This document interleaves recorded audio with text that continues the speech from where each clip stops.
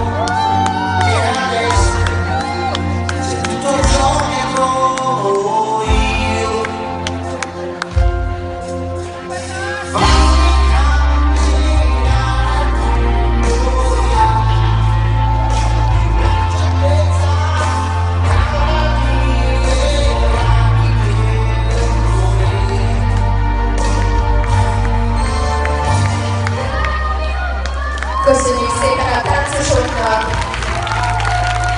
Gyönyörű, színvonalas angol pengőket láthatunk. Szólítom a második tánchoz, vagyis az első köréhez a párosokat, azt a hat pár